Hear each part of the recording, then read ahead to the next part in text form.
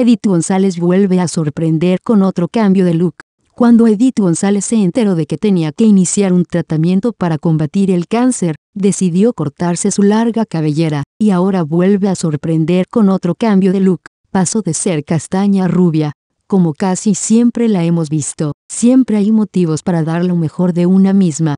¿Quién se apunta? Con este pequeño texto la actriz presentó a sus fans la foto de su nueva imagen, que la hace ver muy guapa. Zule Hernández, Edith Perfección González, siempre bella mi güera, te mando miles de besos. La Dieg, no por favor, pero que Dios a estas güera, te queda increíble. Te deseo un bello sábado, Denise Scrap, me encanta cómo te queda ese nuevo look. Hace unas semanas, Edith indicó en sus redes sociales que se había sometido a una intervención quirúrgica tras tener unos dolores fuertes en el abdomen, donde después le fueron encontrados tejidos cancerosos, por lo que debía someterse cuanto antes al tratamiento adecuado para combatir la enfermedad. Hola a toda mi familia.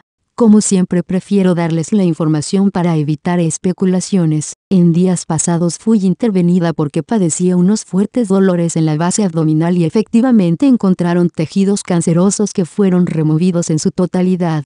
Como es parte del proceso tendré que recibir tratamiento por unos meses. Estoy fuerte, llena de vida y trabajando. Solo espero que me acompañen con su amor y respeto. Agradezco el interés por mi salud. Los mantendré informados en mis redes sociales y no daré más declaraciones al respecto. Todo mi cariño y amor fuerza furia. Los quiero, escribió Edith en su cuenta en Instagram. De acuerdo con la revista Televisión Notas, a la actriz de 51 años se le practicó una histerectomía, que es una extirpación quirúrgica completa del útero, aunque ella no ha dado detalles de su operación, por Celev.mx, 17 de octubre de 2016.